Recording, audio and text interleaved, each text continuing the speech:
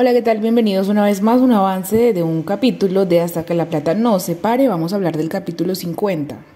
Empezamos que Vicky hará una pataleta, pues esta no se aguanta toda la presión que le están haciendo en su casa y decide irse. También veremos que corre rumor de que el hijo de Vicky podría ser de Jaime o de alguien más porque está hecho muchísimas cosas, se ha mentido demasiado.